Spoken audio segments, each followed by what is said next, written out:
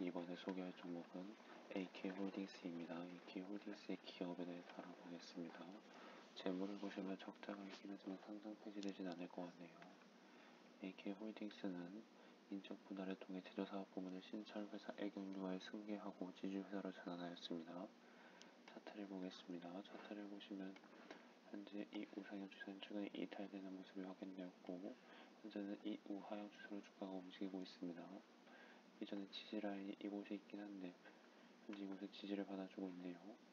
그렇기 때문에 이 지지라인 이탈하지 않는다면 타점 장악을 주겠고 주가가 이런 우 상향 박스권으로 움직일 확률이 크고 목표가 전 고점 정도 올라갈 가능성이 있습니다.